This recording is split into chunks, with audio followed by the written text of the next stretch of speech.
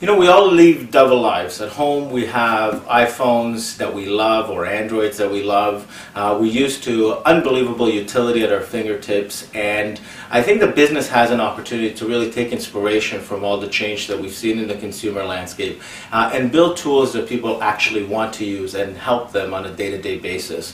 To help inspire some of that, at Klick, we gave our entire staff iPads that they can take home and that we encourage them to use not only for games games, but for any purpose, personal purpose, uh, in the hope that that will give them ideas that they can then bring back into the workplace.